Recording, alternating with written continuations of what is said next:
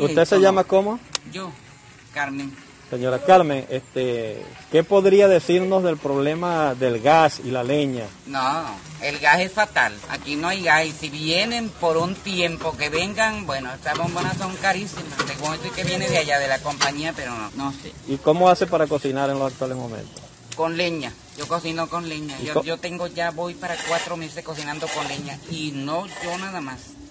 Casi toda la gente que vive aquí porque no tienen el gas. Uno de los grandes problemas que vivimos actualmente los venezolanos, el problema de la escasez de gas. El pueblo tiene meses que no cocina con gas.